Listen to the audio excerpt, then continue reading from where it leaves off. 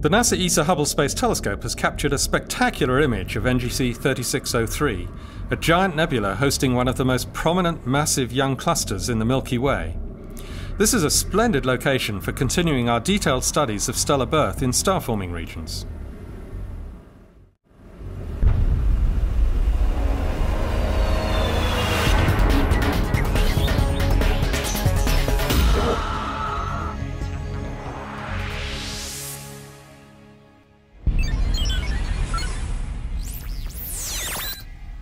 This is the Hubblecast, news and images from the NASA ESA Hubble Space Telescope. Traveling through time and space with our host, Dr. J, aka Dr. Joe Liske. Welcome to the Hubblecast. Today we are going to travel to the heart of a massive cluster of young stars that lies deep inside a vast nebula of gas and dust. The nebula is called NGC 3603 and it is located about 20,000 light years from Earth in the Carina spiral arm of our own Milky Way galaxy. Now turns out that the nebula is actually the nursery of the star cluster.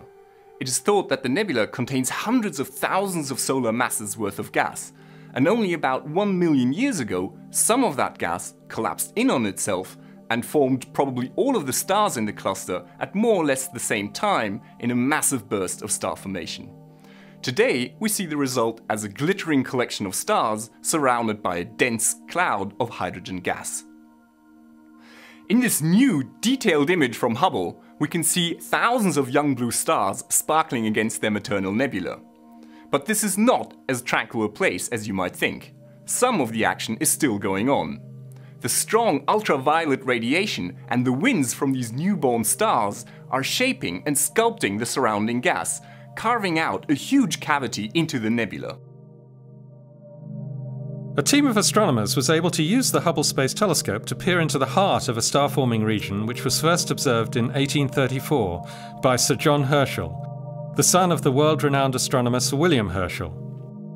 They were able to make detailed observations of stars whose masses differ but whose ages are similar, because of this fact, astronomers were able to study a wide range of stars at different points in their respective life cycles and make comparisons with other similar star clusters.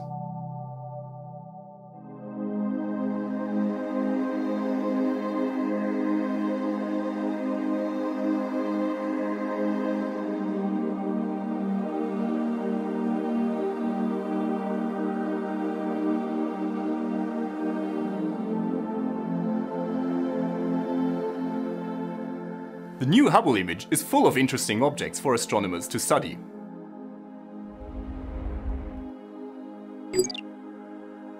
Here, at the top right of the image, we see a handful of Bok globules. These objects were first observed in the 1940s by astronomer Bart Bok. They are some of the coldest objects in the universe, and they are dense clouds of gas and dust of around 10 to 50 solar masses, and they are collapsing to form new stars.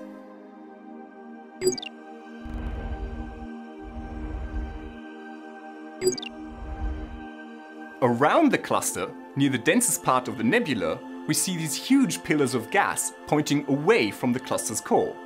These were shaped by the massive young cluster stars, and eventually they will be dispersed into interstellar space.